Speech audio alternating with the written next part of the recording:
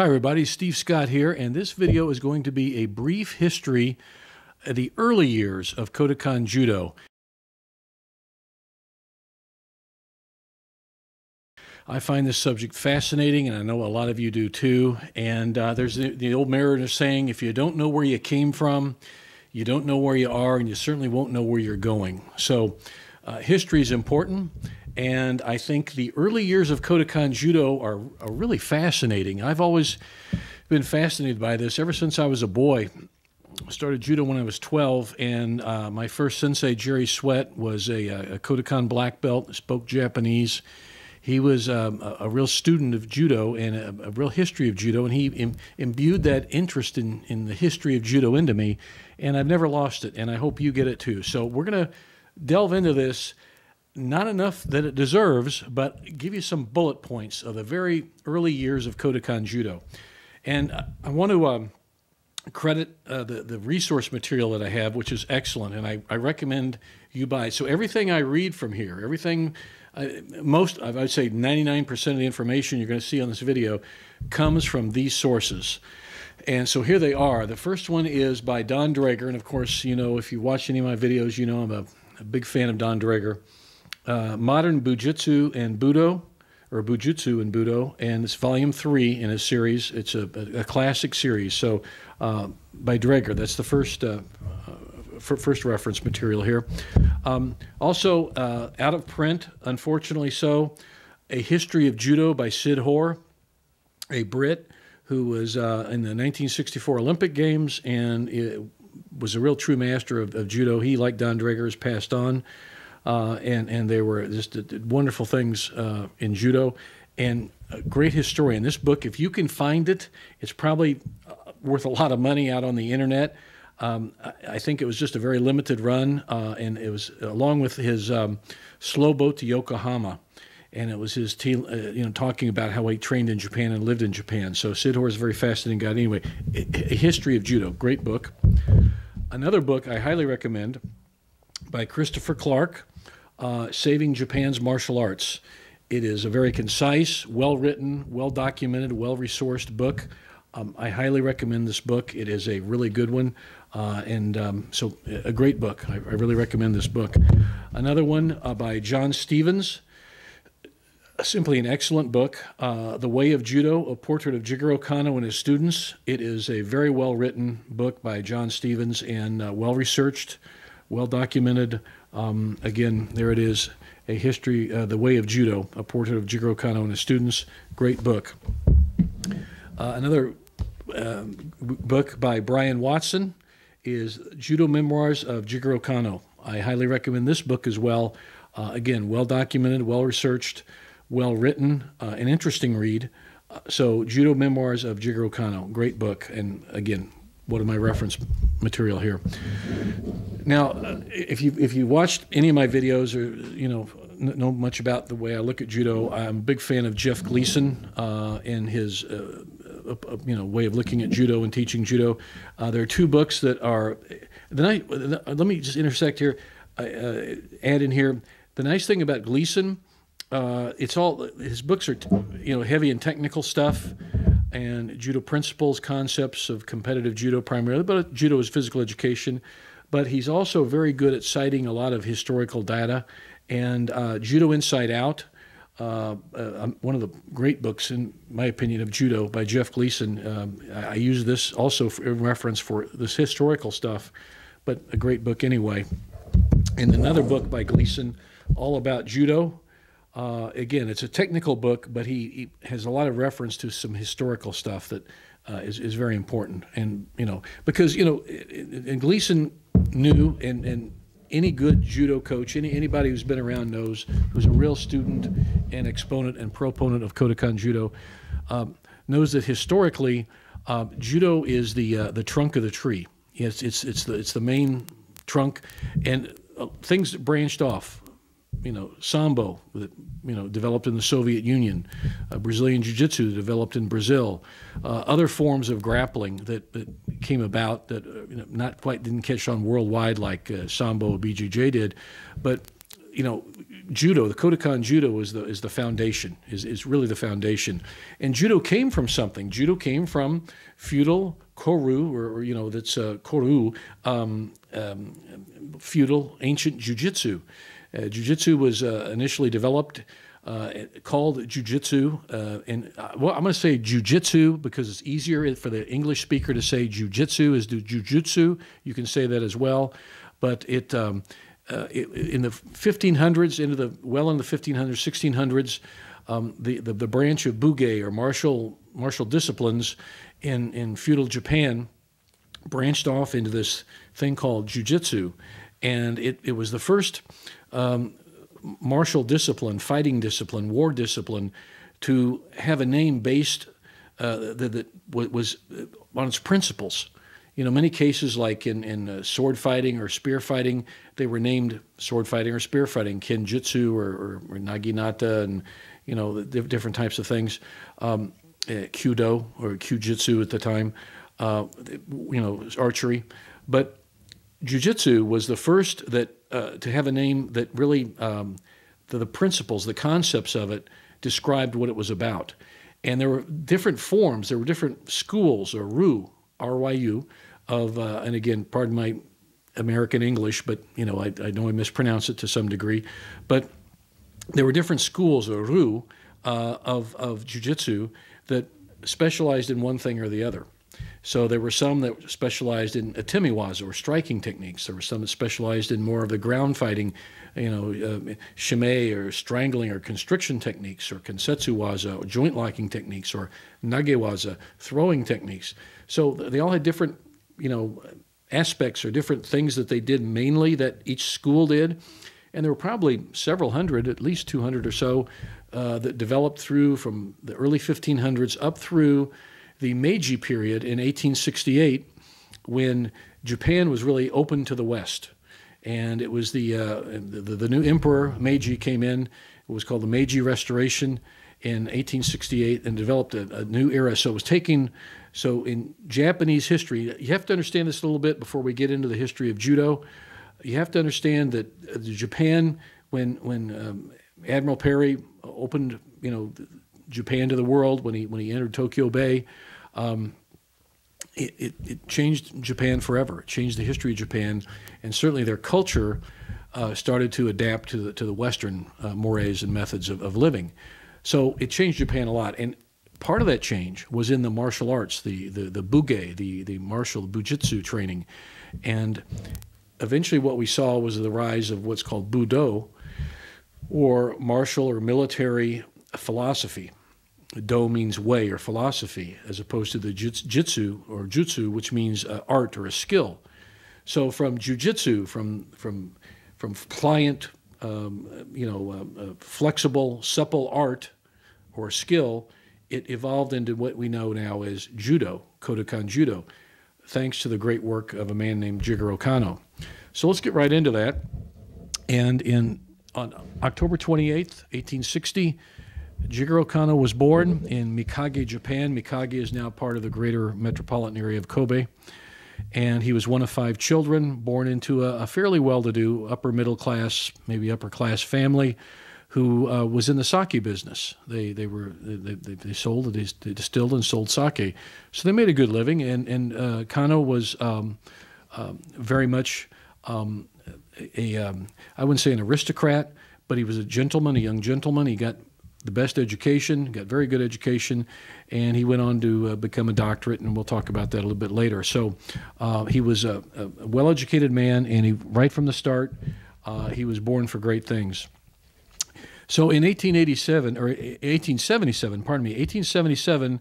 Jigoro Kano started training in jiu-jitsu. Now, what he was a young man who was uh, small, physically small in stature, and he was picked on, he was bullied, and uh, he wanted to learn how to defend himself. And he also heard things about from from other people he knew in his uh, you know his teen years, his teenage years. Um, you know how, how uh, this thing called jujitsu was uh, a way to learn how to fight and learn how to learn how to defend yourself and become stronger physically. So he liked that idea. So probably in the mid 1870s or so, he started to try to find as a teenage boy someone who would teach him jujitsu. In fact, he was discouraged by his father from learning it because uh, at that time, again, we're talking the Meiji Restoration. Many things that were of the old feudal Japanese uh, uh era were now discarded. One of those things was jujitsu. It was kind of looked down upon as somewhat of a, you know, a carnival act or, um, you know, a bit on the shady side by, you know, by respectable Japanese people at the time. And Kano's father kind of discouraged him from doing it, but Kano didn't listen to his dad on this one, and he uh, wanted to keep studying jiu-jitsu. And in 1877, he found an instructor. After he looked for quite a period of time for people to accept him, and he finally found an instructor. And again, I go back to all the reference material I have here. I'm I'm just giving you some quick, not so quick, maybe bullet points you got to flesh it out. You got to read these books. I mean, they're absolutely fabulous. If you want to hear, read more about the character of Jigoro Kano and what kind of a really tenacious kind of type A personality he was to do what he did in life, and it's uh, you, when you read enough about him, you will come to admire the man. You really will. But let's get back to this. So in 1877, his first sensei in jujitsu was uh, Hachinosuke Fukuda. Fukuda was his first sensei and it was in the Tenshin Shinryu style of jujitsu.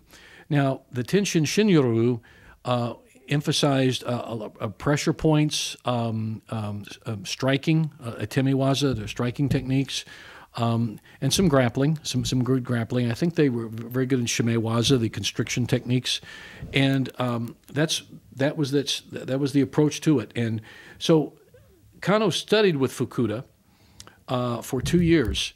And what happened, uh, uh, Hachinosuke Fukuda died. He was an older gentleman when, when Kano started training with him. And he died, in, uh, Fukuda died in 1879. And so um, upon Fukuda's death, Kano was such an ardent, good student of the, the, the, the system of jiu-jitsu. Uh, Fukuda's widow uh, bestowed upon uh, Jigoro Kano the, uh, the scroll um, and the, uh, the, uh, the teaching certificate that uh, said he was the successor to Fukuda in his dojo to teach judo, to, to teach this form of jujitsu, I should say.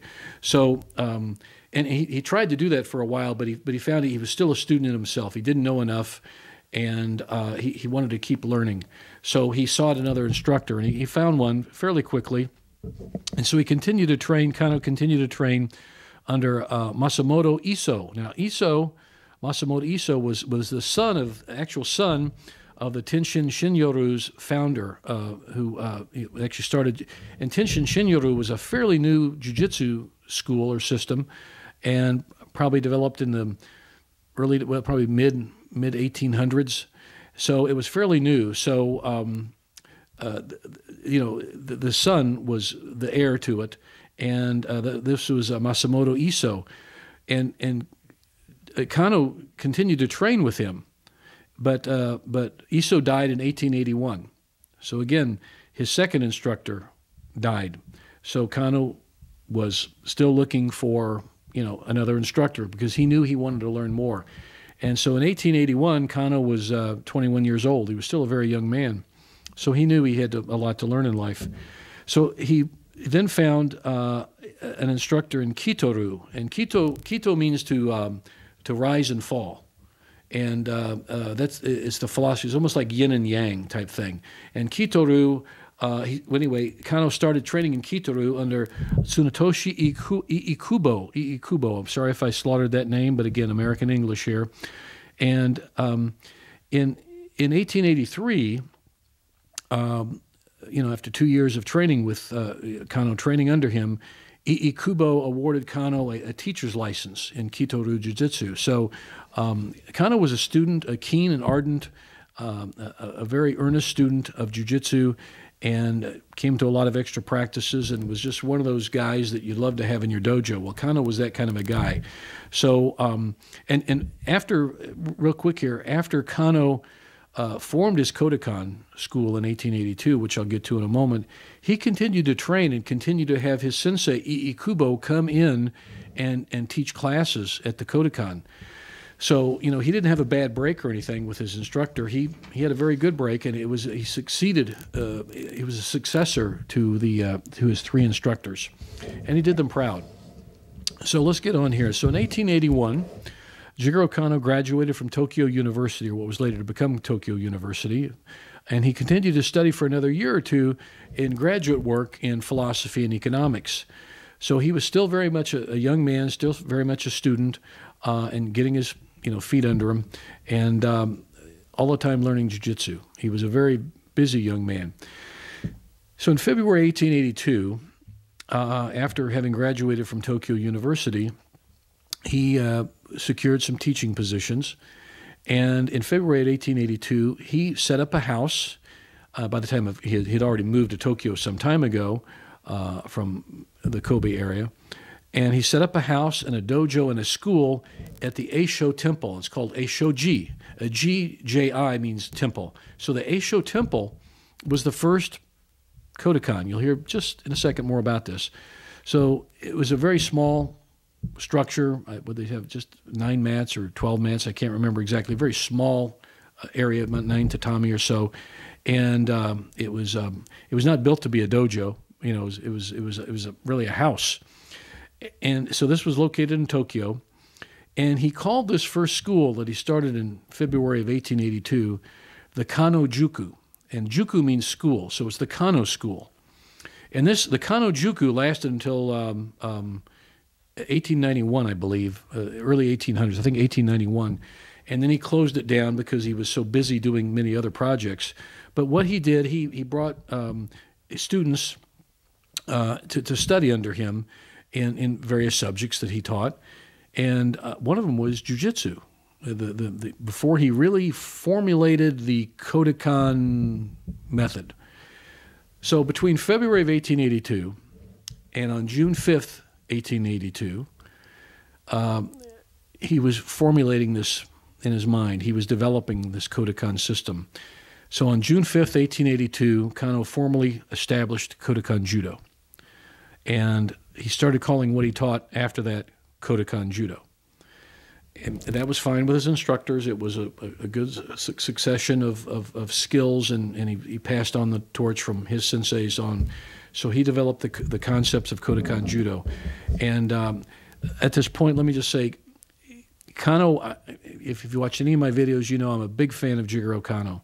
He was a brilliant man, um, a man, as they say, ahead of his time. But he certainly set the times. He certainly set the tone. He was one of those people who is one of the foundations of many things in history. So, um, by the starting of Kodokan Judo, he started the ball rolling on many other things too. And we'll get into that as quickly as I can too here. So let's get on here. So in 1883, um, and I'm going to hit these high points. So in 1883, Jigoro Kano developed what we now know as the Kyudan system, okay? KYU slash DAN. And it was the, um, he was the first, Kano was the first to use uh, colored belts. Eventually, they became colored belts. He was the first to use this type of a ranking system, the Kyudan system, as we know it now. Uh, initially, he just had three kyu classes, three you know um, under black belt classes, and then three dan grades or three black belt classifications. Uh, but early on, in, in, in it, is a very complicated system of, of grading and ranking in jiu-jitsu and in all the the, all the martial arts. Uh, each each system had its own form of grading, and um, uh, it was called the Menkyo system, and it was a licensing system. And earlier I mentioned about Kano became, got his uh, uh, teaching certificate or his licenses from to teach uh, Kito-ryu and Tenshin Shinryu. He was he was awarded a license to teach. Well, that was the system of ranking that was used, in, and it was it was very extensive, very complicated. Uh, there was a kind of a generic pattern that was used, but each system of, of martial fighting, each, each you know bugei martial you know uh, discipline had its own system of, of ranking. So kind of wanted to kind of structure it a little differently, based on some Western thinking and advancement, uh, because he was very influenced by Western thought, European and, and American thought. So he started this Kyudan system in, in 1883. And the first two of his students to be awarded what we now know as black belts, what, he called Shodan. Uh, Shodan means the initial grade. He had Shodan, Nidan, Sandan. Shodan initial grade, the first step, and Nidan was the second step. Sandan was the highest step in his new ranking at that time. The first two people to be actually awarded what we now know as Shodan was uh, Tsunejiro Tomita, Tomita and Shiro Saigo. And Saigo became quite famous. Well, Tomita did too, but Saigo became quite famous as quite a, one of the Kodokan's great fighters. So these were the first two individuals to be awarded Shodan in Kodokan Judo. So by 19 by, by 1885, Kano had fully fleshed this out to well not fully, but fleshed it out to his satisfaction for a while that there would be three kyu or, or, or kyu classes and, and three dan classes. kyu and dan virtually mean the same thing. They mean step, step or grade. But often we say a kyu now is a, is a, de- a degree or a class, like ikkyu would be first class or first degree. And, uh, or you could say a Shodan would be first degree or first grade. So it, they initially mean the same thing, but he, he de- designated him kyu or dan. So there you go.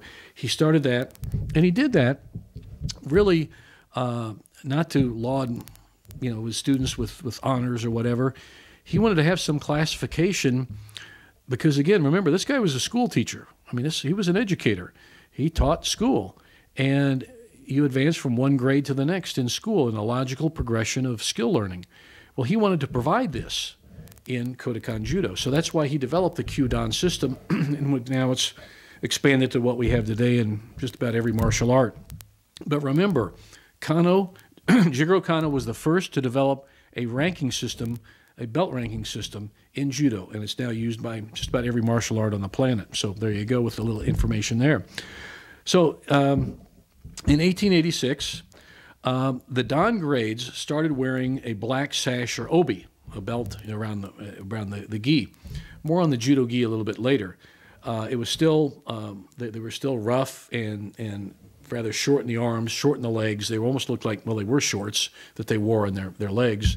And the, the jackets were, were rather rough. They usually stopped at the elbow. And there was just basically just a sash, an obi belt to tie around the waist to keep the jacket together. And so in 1886, about 1886, I believe, um, the at the Kodokan they started wearing the black obi, and it became it became quite the fashion because uh, with the, the, the white judo gi and the black belt, that looked sharp. And it still looks sharp, I think. I mean, a nice, clean white judo gi and a black belt still looks really sharp.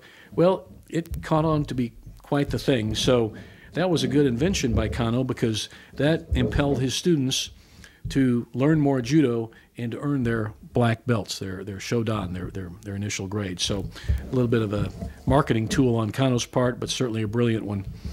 So in 1893, here's a bit of interesting. The first non-Japanese to enroll at the Kodokan was a captain. We don't know if he was a he was a military captain. We don't know if he was Navy or Army or what. But Captain H. M. Hughes of England was the first non-Japanese to enroll at the Kodokan, and uh, the first two um, U.S. citizens, uh, Americans uh, from the United States, in 1899 were uh, John Perkins and John Farley.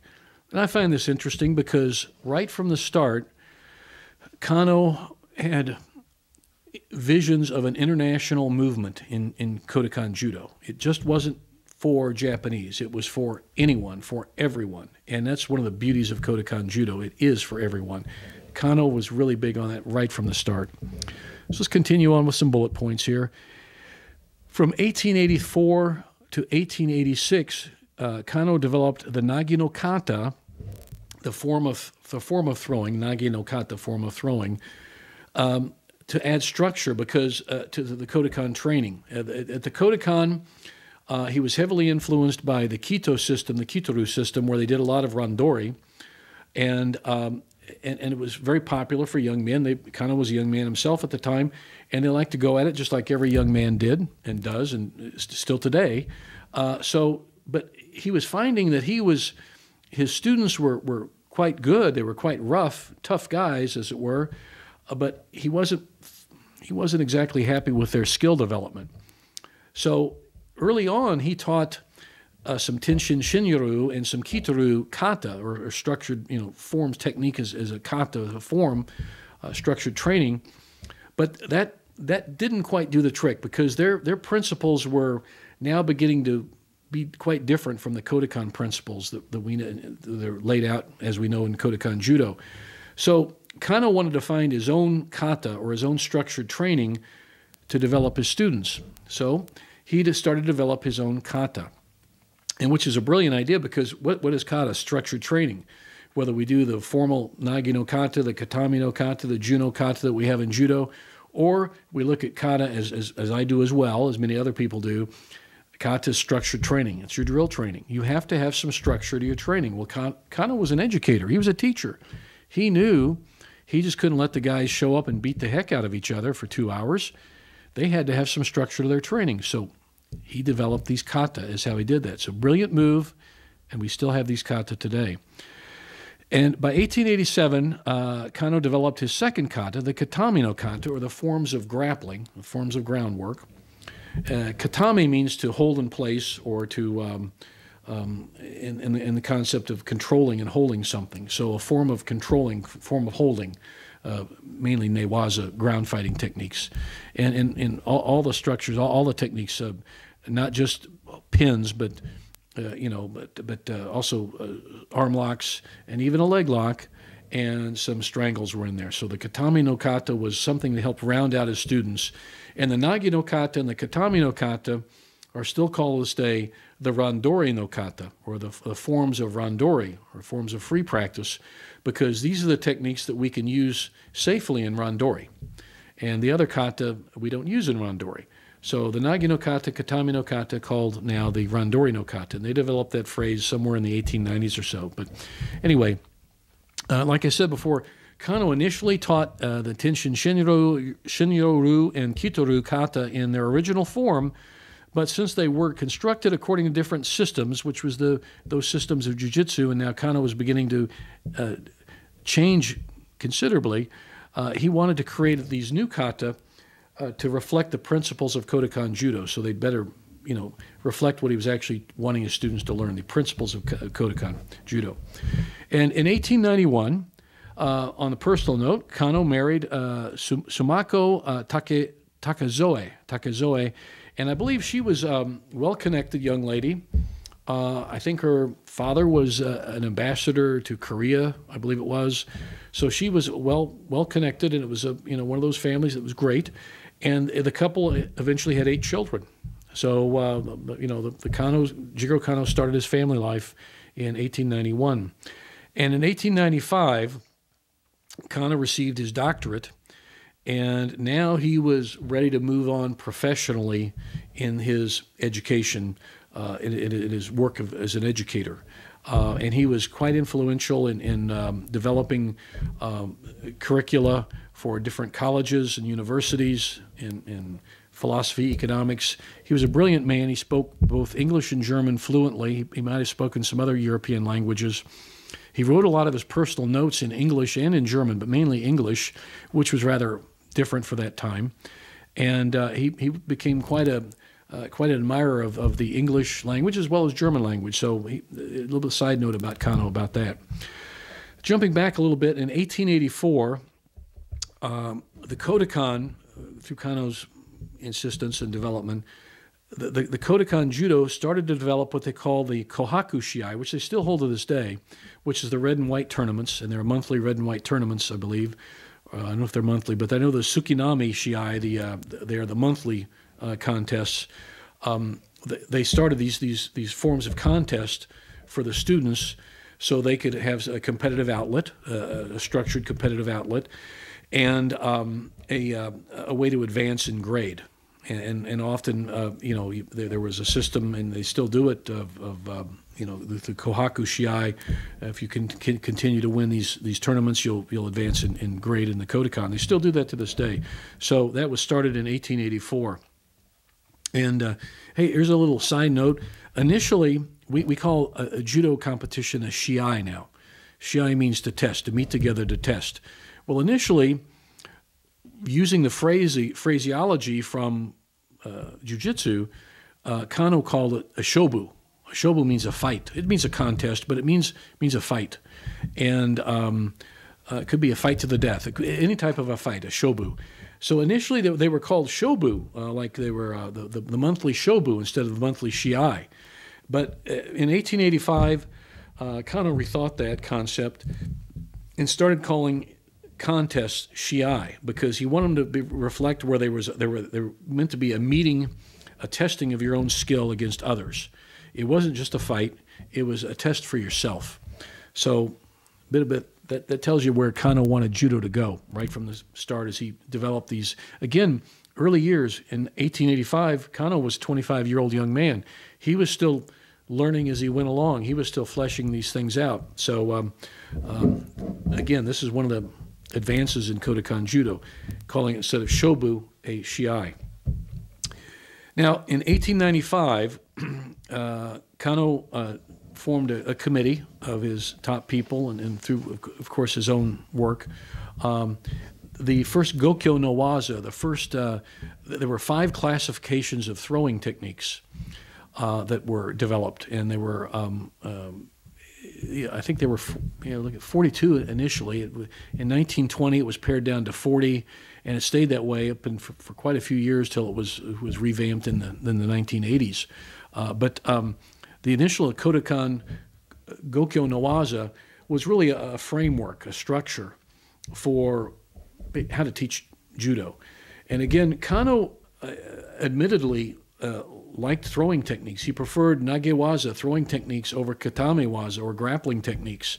He did that. It was his own preference. And uh, to me, just a personal note, a weakness, I believe, there was never a classification, uh, Gokyo no, Gokyo no Waza type thing done for the ground fighting. Um, you know, to, to include as many of the techniques they did as, as, they did in throwing, they would include in ground fighting. They didn't do that. And I think that's one of the weaknesses of, of, of the early years. And again, that was Kano's preference for the Nagewaza over the, the ground fighting, Katamewaza. But things got better as, as went along.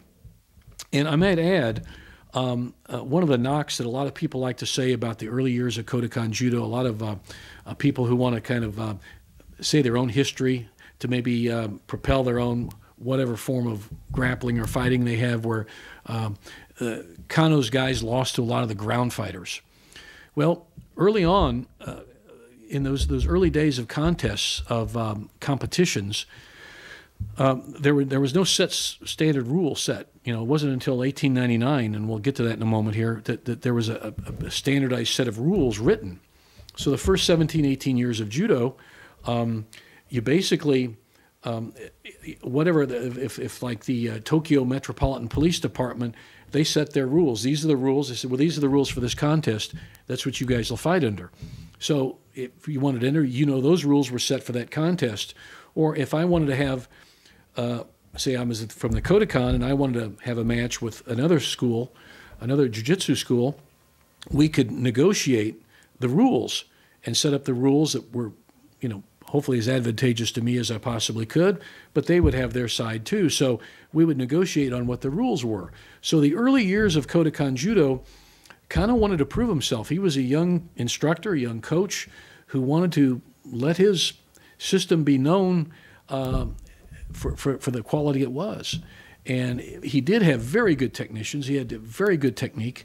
Um, technically, he was light years ahead of a lot of the many jiu-jitsu people. So he basically entered his guys in as many different competitions as he could, with the team competitions or these big, like the Metropolitan Tokyo uh, Police Department, those type of things, um, and they competed a lot. They usually won, but it, sometimes they didn't. And, some famous cases in uh, the, around 1900 or so, early, you know, 1899, 1900, 1903, those years there uh, there was a, a, style of jujitsu called Fusenryu, Fusen, F-U-S-E-N, Fusenryu, and they they were primarily a ground game. They, they, they did throws, but they were also really good in newaza, ground fighting techniques. And uh, Kano's guys, the Kodokan guys, lost in two duels with those, uh, the, that system. But again, this is the strength of Kodokan Judo, started by Kano himself. He said, we got beat. Why? we're, they did something we're, we're we, we have deficiency in. We've got to make up that deficiency. So what did he do? He had their, their instructors, he invited their instructors, and they graciously did. Uh, they'd come in and they the, Fusenryu and also other systems, the Jikishinryu and other systems like that. Um, they would come in and train the Kodokan people, or, or Kano would send his Kodokan people to go train in their dojos to learn from them. So he was absorbing all these things. So he learned from those losses. There were few. His guys were generally better athletic, they were better in their skill, they were better athletes in many cases, but they did lose contests. There's no doubt about it. I mean, nobody goes undefeated no matter what you do. So, but he learned from it. And judo, to, to this day, one of its great strengths is to absorb things and to bring things into judo. And so these skills of the Fusenryu and the other systems of, of jiu-jitsu where he was deficient in, in newaza or ground fighting, um, and that, you know, fighting katame waza, he said, we've got to build that up. And so he did. They, they, they, they, they got better by having these other instructors come in. So that's, that's a great thing about Kodokan Judo. So people who like to knock it say, well, they got beat by the ground fighters and they, they proved that that's not very good. Well, the Kodokan absorbed all this. And but by being this, having this open attitude, Kodokan Judo was by far and away, but by far and away the most um, uh, advanced and the most popular and the most technically skilled um, form of jujitsu, as it were, still in those days. And it really set the mark. And honestly, if it had not been for Kodokan Judo and Jigoro Kano himself, uh, jujitsu, we probably would be having this conversation because it would have been lost to history. It was it was it was dying in to, with with feudal Japan, and Kano brought and kept it. Also, the other jujitsu systems that were were you know active at the time were you know really beholden in many ways to Kodokan Judo because his popularity of judo uh, it kept people coming in the door for them too. So it was a win-win situation for everybody. So that's why I'm a big fan of Jigoro Kano, so you can see. So anyway, a little aside there.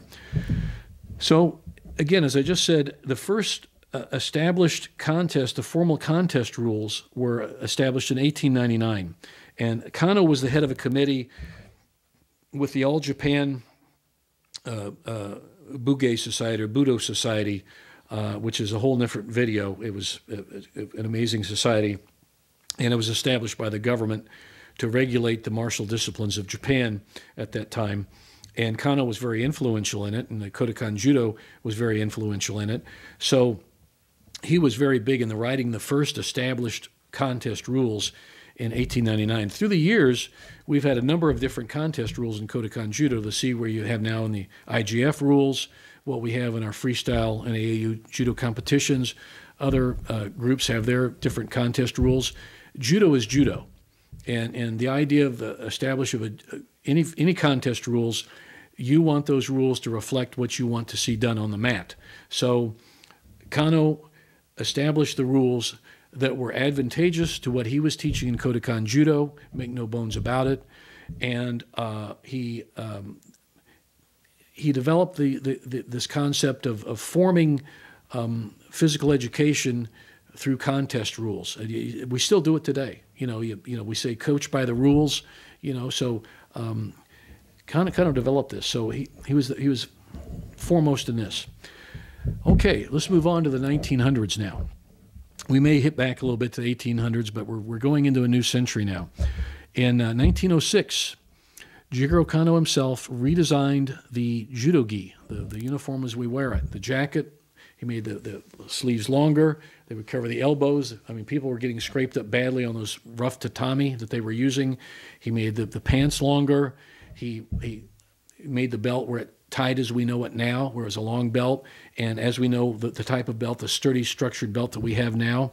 So Kano designed, designed the lapels so they could strangle and grip better. Um, he designed a, a, a, practice uniform that was utilitarian and pragmatic, and it reflected what he was doing in Kodokan Judo. So this the, the judo gi we wear now, uh, and they were all white. Everybody wore a white judo gi up until what 18, 1980 or so when the IJF changed it and started permitting blue judo gis, and then we have different colored judo gis now of all, all types. But um, they were all white. So that's a bit of the history on the uh, judo gi itself.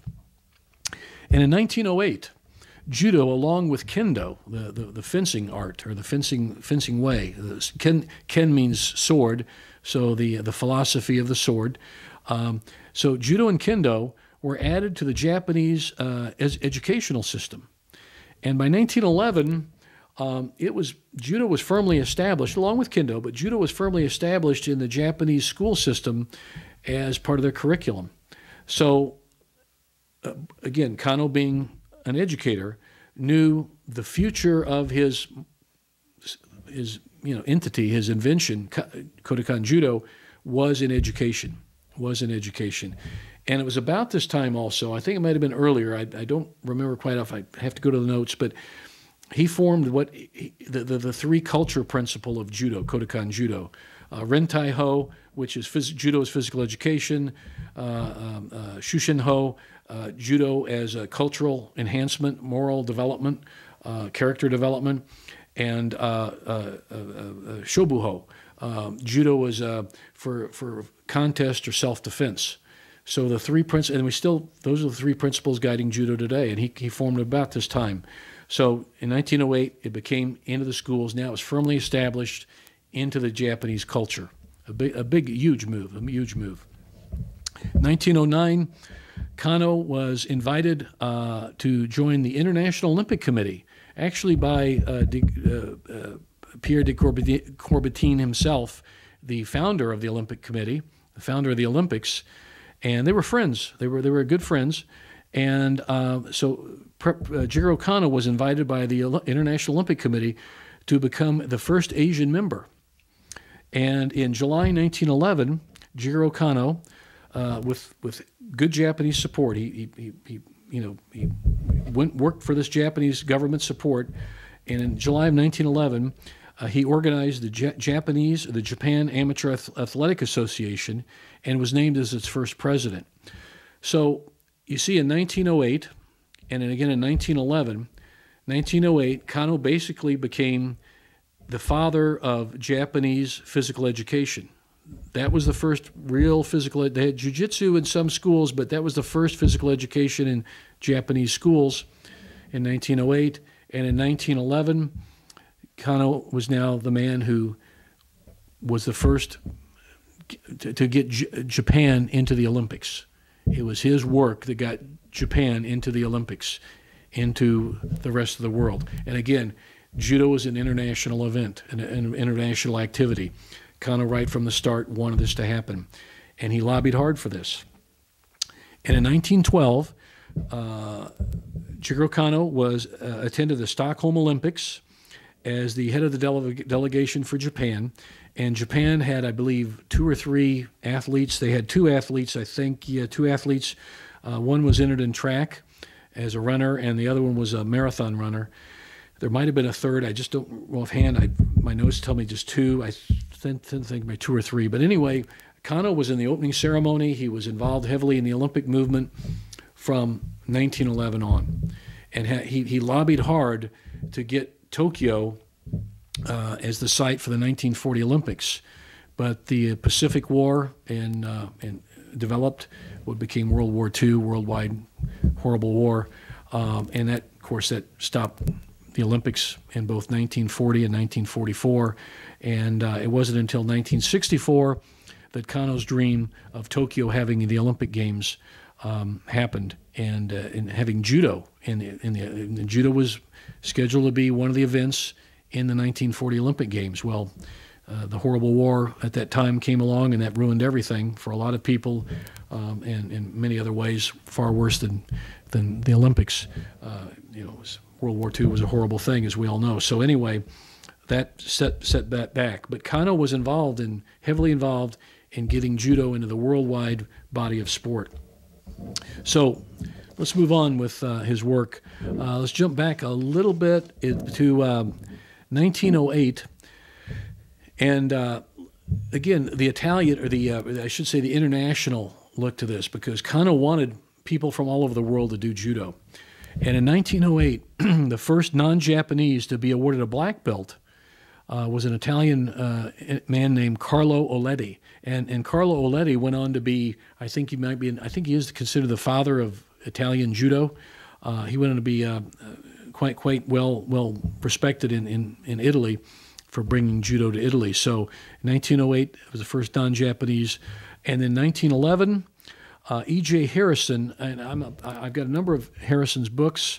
Uh, he was from the UK, and he received his Shodan in 1911. And E.J. Harrison was instrumental in bringing judo to Europe. And judo caught on in Europe in a huge way. And uh, Harrison was one of those early innovators, those early pioneers of, of judo in Europe. So uh, much credit goes to him. And he got his Shodan in 1911 from the Kodokan. So he's one of those early men. Also, uh, being an old sambo, sambo guy myself, loving the sambo, um, in 1913, the man, Vasily Oshchepkov, who was from Russia, um, he was awarded a Shodan, his first grade black belt, his initial Dan grade, and he was the first uh, Russian uh, to to get a black belt. He and that was in 1913, and he he later earned his Nidan or second Dan in 1917. Now he went on to become an early founder of what we now know as Sambo. So um, this this shows you how, like I said earlier, the Kodokan Judo is the trunk of the tree. Well, here we see now the early start of Oshchepkov of the, the judo roots, and he went on to, to do other things. He studied, and others did too. Uh, he, they rounded out um, what became Sambo. They studied different wrestling methods, different fighting methods from different regions in what became the Soviet Union, the different republics. And so they added to what the Kodokan Judo started. But again, Judo was the genesis of Sambo. I, I openly admit that. It's just the way it is. It's historically accurate. So jumping back just a little bit, in 1904, let's talk about women in Judo. The first woman enrolled at the Kodokan was a woman named Miss Yasuda. And uh, she was in 1904, and she was the first woman enrolled at the Kodokan. Now, the Kodokan didn't have formal, a formal organized women's program until 1923, specifically just for women. But um, and and so again, those early years were pretty rough and ready. So you had to be a tough young lady um, to be training with all those tough young men back in the early days of the Kodokan. So much credit to Miss Yasuda. Uh, it was never recorded that she got her Shodan or any any black belt grade, but she was the she was the innovator there. Now, the, the first woman to get a black belt to get earn Shodan was a woman in 1933 named Kosaki Kawako. And again, if I say the names wrong, I apologize for my American English. But in 1933, the first woman to become a black belt in judo was uh, Kosaki Kawako. Now, again, the international flavor here. The first that I've been able to find through research through all these wonderful authors and, and uh, what I've tried to glean on the internet there might be something out there I don't know, but from what I have found, the first judo club outside of Japan is really not known. You know, because some came like I, I know in in the, the, the, in Hawaii there were a number of Japanese immigrants who started various uh, dojos there, but they didn't stick around, and they you know and they, they might have been um, successful for a while and they didn't stay. But um, the the uh, the earliest surviving, to, to we know, the still surviving judo club that is still in existence was the Seattle Judo Club, started here in the United States, and it was founded in Seattle, Seattle, Washington, in 1903. And I believe uh, Jigoro Kano visited there many years later, uh, before his, his death. So we know in 1903 the first strongly established judo club was in, in Seattle area, and of course down in the Nanka or Southern California area, there was a strong uh, Japanese community there uh, and, and organized clubs, and also in Hawaii in the United States. Now, the first university club that I know of, the first club, again, the Europeans who are watching this, I, I didn't research this real well. I do apologize for that.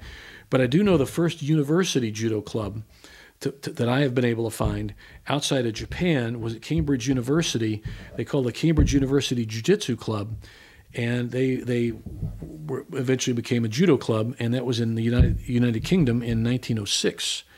So you see this internationalization of judo right from the get-go, how it started uh, by Kano's design. So those are the really early years of Kodokan Judo. Um, I find them fascinating. Um, they were uh, they're a reflection of the man who started the movement, Jigoro Kano. Um, he was a brilliant man, and uh, he's one to be admired in many many ways. He was he was very influential in Japanese society.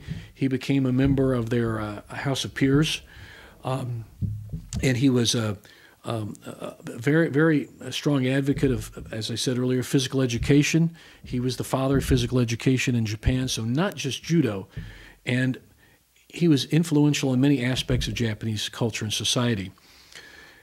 And Kano died. Jigoro Kano died on uh, on a ship at sea. The uh, uh, uh Hikawa Maru, Hikawa Maru, the, uh, the, the ship he was tra traveling in, on May fourth, nineteen thirty eight. He had successfully lobbied in 1936, and I think they firmed the deal in 1938 to definitely have the Olympics in 1940 in Tokyo and that's what he wanted his dream to be. That was a dream of his. He didn't live to see that. Of course, had he lived to see 1940, he would have been shattered because the, the horrible World War II came along, and uh, he wouldn't have seen Tokyo Olympics at all. But he would be proud of what he did. So that hit, the early history of Kodokan Judo is fascinating. And again, as I said at the top of this very long video, and I do apologize for the length, I tried to keep it as short as I could.